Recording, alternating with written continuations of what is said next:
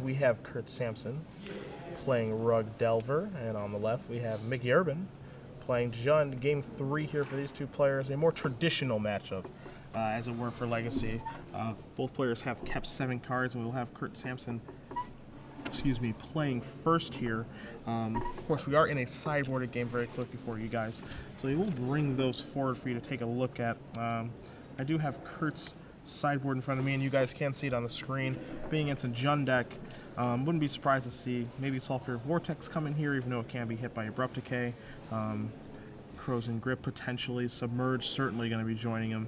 Um, Life from the Loam to be able to get that Life from the Loam plus Wasteland Engine online as well. So definitely some options here for Kurt on the right. Just so you know, we have those those sideboards swapped, I believe. Or those don't. Oh, they're right. Oh, those are correct. Yeah. Okay. I thought I saw submerge in both sideboards there. Oh, okay. My bad. Uh, for the Jund side, In the sideboard, I think uh, Ensnaring Bridge is very good against very good against Rogue historically. It's possible because Miki is not. It's not like he's playing burn. He's not really equipped to run through win through Ensnaring Bridge himself, except with Lavamancers and Deathrite Shamans. It's possible that's more of an anti-show and tell card, but it is that card is very challenging for Rogue to beat. He has a Red Blast and a Pyroblast that seem good here, and two copies of Umezawa's Jitte.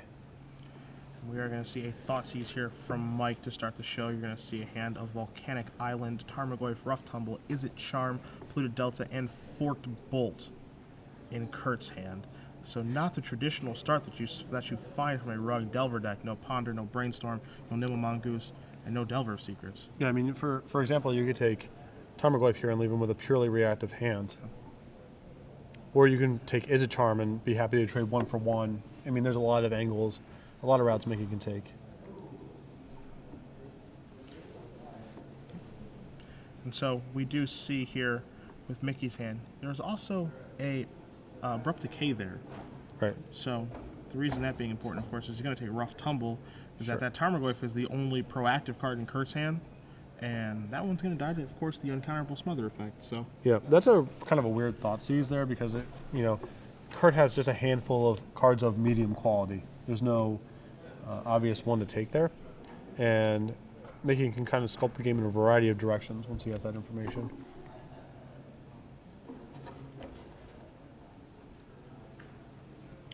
and so Miki is going to pass it on back. I believe Nimble Mongoose was the draw for Kurt. We're going to see Tarmogoyf. Miki going to take a draw step. Miki going to find a forest here. Not a bad draw. Yeah, not too bad at all. So you see Dark Confidant in his hand, along with that Abrupt Decay, and a card to the back.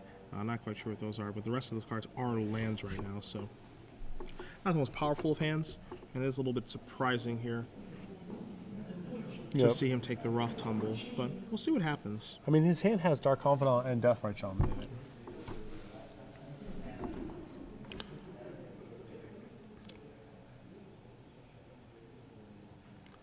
So I think Miki is just debating between Abrupt Decay and Dark Confidant.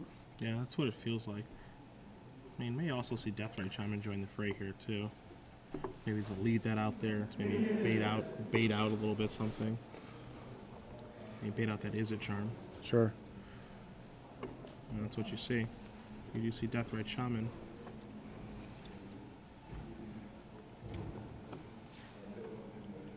See Polluted Delta come down for Kurt. What you're going to see here is Forked Bolt take care of that. Yep. Grow the Goyf a little bit. With sorcery, sorcery creature. We'll have the Tarmogoyf die for you guys out there in a minute. No, no sense in guessing. I mean, you can't be sure. Tarmogoyf drawn for Miki this turn. And Miki's draw certainly, certainly wasteland proof. Yeah. Now we do see Abrupt Decay take care of the Tarmogoyf. Sequencing there just a little bit odd, as you know he's not be able to he's not able to maximize his mana the way that he played these these first couple of turns. Right. If he had spent, if he had played, for example, um, one of his two mana spells on turn two, then turn three could have been Shaman plus the remaining two mana spell. Do see Lightning Bolt drawn here for Miki. I don't see a Badlands in our play. And now you do see Dark Confidant, Tarmogoyf, Lightning Bolt, and another Badlands in his hand, so Can't play two creatures this turn if he chooses to. But Kurt has uh, drawn a daze in the intervening turn, so So Dark Confidant. This is gonna this is gonna be a, a very awesome Daze for Kurt. Yes, it is.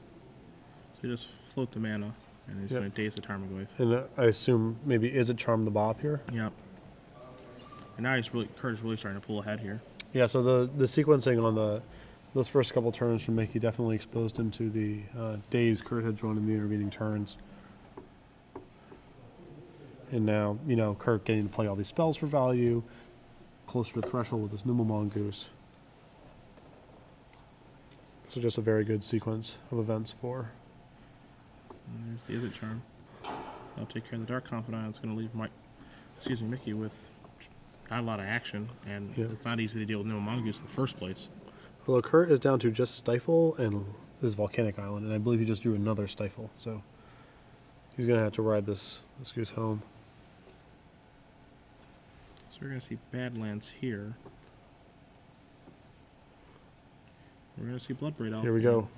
Not a bad thing to stifle, Yep. which is the Cascade trigger on Bloodbraid Elf. And yeah, Miki happy to trade if he's uh, if he's allowed to. To see Volcanic Island. And Kurt giving this turn a little bit of thought before casting a Scavenging Ooze. Yep. Okay.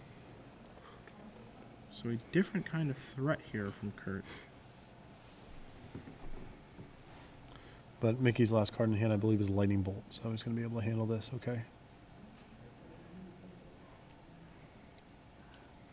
You see the two players just trading back and forth and back and forth. Yeah, but the Jund deck feels like its attrition elements are just a little bit better, and Kurt's going to be drawing much softer. I mean, he has Brainstorm Ponder, which are awesome, but he also has a lot of cards like Stifle, Pierce Daze, Force of Will, those kind of cards where uh, Miki's drawing a lot more just solid, solid cards. You're going to see a Death Deathrite Shaman here. So Miki uh, empty handed. Kurt draws a card. This matchup typically very, very back and forth, as you can tell. Pendulum swinging back and forth between both players. Both players at multiple points in this game look to be fairly ahead. Yeah, and another noteworthy situation that's that's developing here is now Wasteland is also a very powerful draw for Miki because he can cut Kurt off of a color. Whereas, you know, Kurt's Wastelands are not good right now. You see the Grim Lava Well, another- Okay. Another awesome draw. Submerge in Kurt's hand right now. But these are not great submerged targets. Yeah, oddly, oddly enough. As we're to see Deathrite Shaman here remove something from Kurt's graveyard. Going to take care of that Izzet Charm, put him down to 17. And the pairing of, of Lavamancer and Deathrite Shaman just gives Miki so much control over the way the game gets played. Yeah. He can race, eh, you know, he's threatening to burn Kurt out. If Kurt applies pressure to the board, he can start gaining like with Deathrite Shaman. I mean, The other unique thing here, too, is that Deathrite Shaman slowly but surely can actually go to work on Kurt's graveyard and reduce that Mongoose Yeah. from a 3 3 to a 1 1. And speak of the devil, Wasteland is here. It's going to float some mana. See Deathrite Shaman activation. Gotta get Gonna take care of stifle. Stifle, bring Kurt down to 15. If I was Miki, I think this is the turn where I would start sending in with my Bloodbraid Elf. You're ready to make that trade? Yeah, you're also hedging against potential, uh, like, more copies of Rough Tumble. Because if he wants to trade, that's great, and then... Like, I understand you're giving up a little bit of value because you're close to getting the Mongoose off of Threshold, but you're so far ahead that the only card that seems like can catch him up is is Rough Tumble, so I would try to hedge off a little bit. We do see Wasteland here make an attempt to go after that volcanic island. Not sure if there's another stifle hiding over there or not. I mean, we had to stifle this because, again, we're, we're playing the Rough Tumble. Yeah. Yep.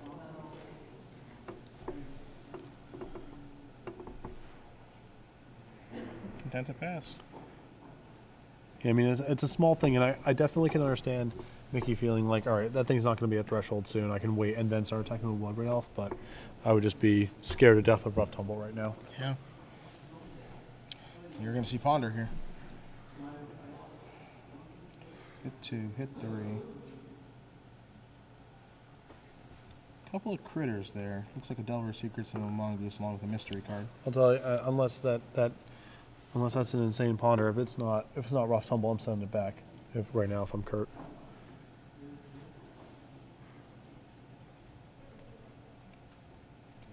Two rough tumbles in Kurt's sideboard. One already discarded from a first turn thoughts. Is you're going to see Nimble Mongoose come across here, Mm. putting Miki down to 12, and you're going to see a Tarmogoyf. So, putting a bit of a fight as we see Deathrite Shaman here. Take care of that Ponder. Bring Kurt down to 11. We're going to see Grim Lavamancer do a little bit of work, maybe. I think I think he's just make, wants to see if there's cards he can remove from his graveyard to shrink the Tarmogoyf. Yeah. Nice thing about Deathrite Shaman and Grim Lavamancer, you actually do have control over the size of that bad boy. Yep. For the most part. You do the best that you can. Although he also has his own Tarmogoyfs in his deck too, so it's like a little, it's a little confusing. Yeah.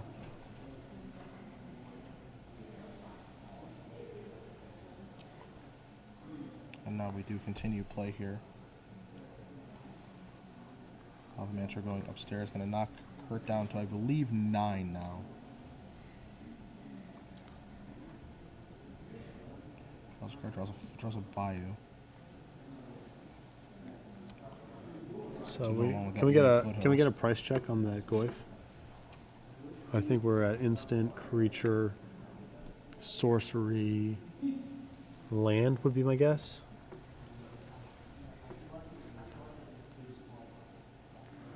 Where's your terminal value? It is a 4 5 right now. And Kurt's still hanging out with that submergent hand, trying to pick his spot. Yeah, I, I really do like waiting here. Oh yeah, I mean he hasn't found a he has not found a spot yet where it would be that powerful. So, I like the patience.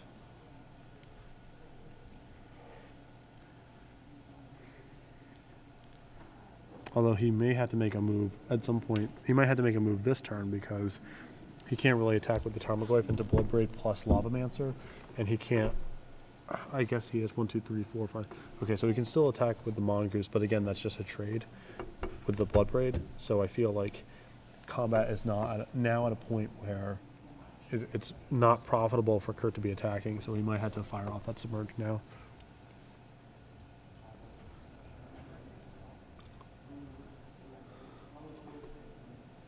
Although, of course, submerging that submerging any one of his creatures is not not ideal. See a little bit of calculation here from Kurt.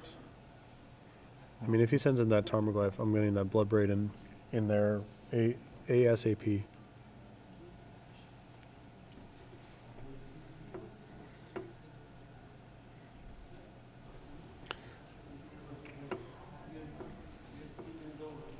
Let's see. A lot of con- I'm contemplating a lot of things here. Yeah, I- yeah. There's a that. you know, and Miki has to be concerned about about stifle. Like if he's planning on using Lavamancer, uh, Lavamancer and a to take down this Tarmogoyf. Yeah, there's like a million things going on on the on the board right now. A lot of subtle things going on. Yeah, So do you see Tarmogoyf and Nimble Mongoose finally coming across it again? Kurt feeling he's underneath enough pressure from Grim Lavamancer and, and, and Deathrite Shaman. It's time to make a move. Well, he certainly he certainly can't win this game by blocking. So That's- that's you gotta attack. Now we're going to see Bloodbraid Elf trade here with the new Mongoose. Or at least make its best attempt. Miki falls to eight.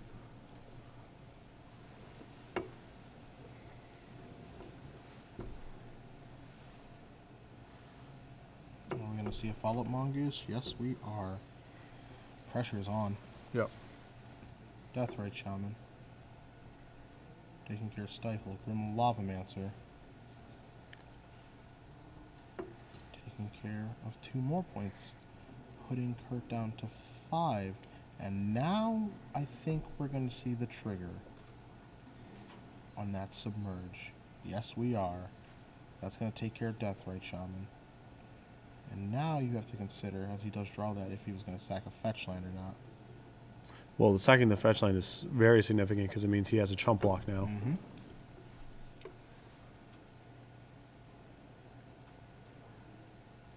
You can tell. Yep. I mean, he has a lot of huge draws here. Yeah, that's for yeah. sure. I mean, he can, even if he chump blocks and shoots, he's still drawing to bolt and to blood Okay. braid. So So you wonder if he sees the ramifications of that He's got some fine draws, you know. He's got like Liliana is very good here. And so Abrupt actually- Decay. Now that was a strange play because actually what he did is he sacrificed the land before Submerge resolved. I don't know Let what he, Submerge resolve and then play Deathrite Shaman. I'm not sure why we why we're worried about the extra mana. I mean, we're still in a spot where we have to chump. Now you just see these two guys come across here. Something's going to step in front of the step in front here, and if you're I mean, I think you just have to put Lavamancer in front of um, of the Tarmogoyf and shoot. sure, let's take a look at the graveyard, see exactly what the creature types are here. Or excuse me, the card types for Tarmogoyf. See if there's anything he can do to make it so it's not a four-five. And you do see instant, you do see a Tarmogoyf, you see Rough Tumble as a sorcery, and you see Wasteland among others as a land. So I think it's going to be a four-five no matter what. Yeah, he can't he can't stop he cannot stop it from no way to shrink it.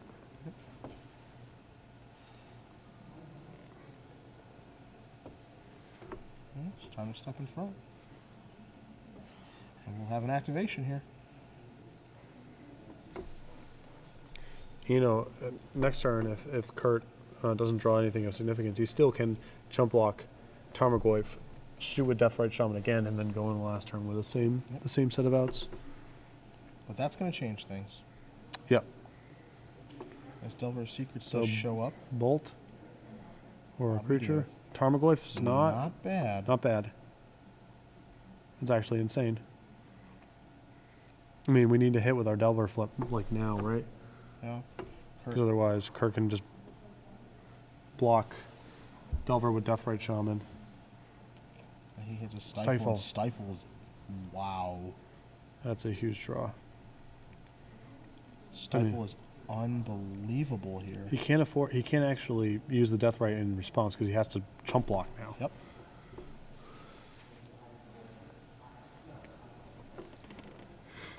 So Kurt can actually can actually alpha right now. I think he can only send Delver of Secrets. Because an alpha means he just dies on the way back to the Tarmogoyf. Yep. Tarmogoyfs run into each other. Deathrite Shaman jumps in a Mongoose, and then he's looking at a lethal attack from a Tarmogoyf. So this is where managing this. This board- is managing this board is tough. close. this one is close.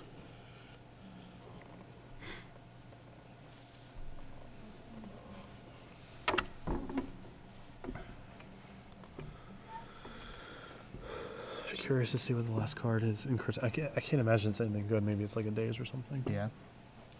Can imagine having a huge impact on the game.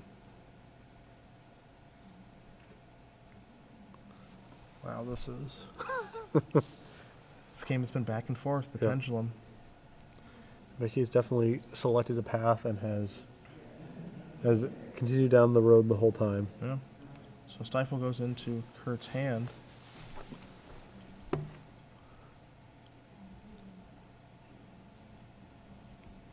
Now you see the math beginning to take place here. Where can I attack? Where can't I attack? Is it just Insectile Aberration of the air? Can I attack on the ground with anybody?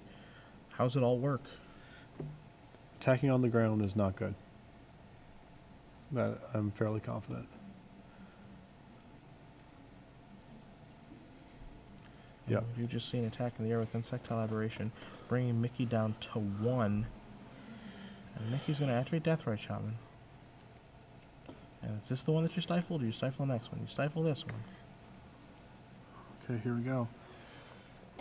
Draws a card. It is Mox Mox Diamond. Diamond. And Wow. That is it. Kurt Samson with a heck of a comeback with Rug Delver moving on to the finals, defeating Miki Urban and his Jund deck two games to one. Congratulations to Miki. I know he's he doesn't actually play in tournaments all that often at all, so it's mm. nice to see him show up and, and have a nice performance. Really, really close game three there. Yeah. I'm sure that's why the other two games took so long as well, is because, I mean, you could see with that game, back and forth, a lot of decisions to be made. Yeah, oh for sure. And I think I, I think Miki's sequencing in the first couple of turns there uh, ultimately led to his downfall. Yeah. Uh, Kurt was, you know, pretty fortunate to draw Daze there in those evening turns, but even setting aside Daze, the efficiency with which Miki deployed his cars in the early turns uh, left him a little bit behind.